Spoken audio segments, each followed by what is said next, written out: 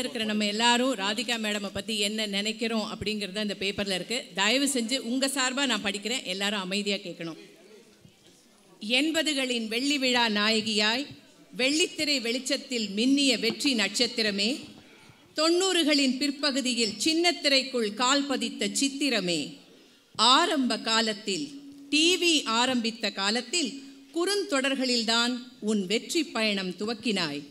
மறுபிறவி பாலைவன புயல் என தடம் பதித்த உனது ராடன் பயணம் மல்லிகை முல்லை நாலாவது முடிச்சு என தயாரிப்பிலும் நாலு கால் பாய்ச்சல் எடுத்தது. நீ எடுத்த முதல் நெடுந்தொடர் தெலுங்கு தேசத்திற்கு சொந்தமாக இருக்கலாம். ஆயினும் எம் தமிழர் மண்ணில்தான் சித்தி எனும் சகாப்தம் துவங்கியது.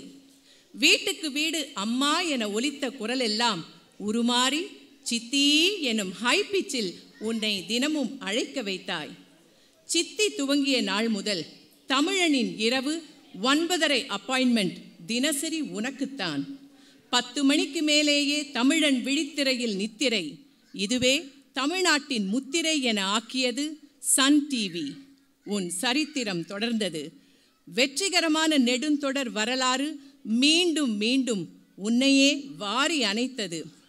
அகிலம் போற்றும் அண்ணாமலையானாய் சென்ற இடமெல்லாம் செல்வியானாய். அடுத்து அனைவர் மனதையும் ஆட்கொள்ளும் அரசியானாய். செல்லமே என மொத்த உலகையும் உனக்காக உருகச் செய்தாய். வானகமும் வையகமும் கொண்டாடும் வாணி ராணியுமாகி தமிழன் மனசெனும் சிம்மாசனத்தில் அசைக்க முடியாத சின்னத்திரை ராணியானாய். சிங்கம் போல் வீற்றிருக்கிறாய்.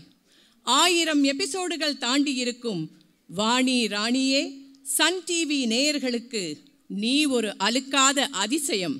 எம் போன்ற கலைஞர்களுக்கோ என்றும் பேர் அதிசயம். உன் அன்பும் ஆளுமையும் எளிமையும் மன வலிமையும் தெளிவும் தெவிட்டாத தேனுருவும் எங்களுக்கு தினமும் திகட்டாத காட்சி. தவறு பொறுக்காத தனிநிகர் தலைவியே நீ திட்டினாலும் கூட உன் கண்ணில் வெறுமனே பட்டதற்கே பரவசமடைந்தோரையும் நான் பார்த்திருக்கிறேன். நீ திட்டினாலும் கூட உன் கண்ணில் வெறுமனே பட்டதற்காக பரவசமடைந்தோரையும் நான் பார்த்திருக்கிறேன். அட கூட இருப்பவர்களை விட்டுவிடலாம். தமிழ் பெண்களில் எத்தனை லட்சம் பேர் உன் கதாபாத்திர வெளிச்சத்தினால் வாழ்வை கற்றார்கள் பலம் பெற்றார்கள்.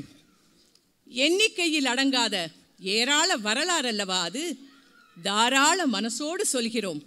சின்னத்திரை சிங்கமே நீ நிஜமாகவே ஒரு லேடி சூப்பர் ஸ்டார் தான்.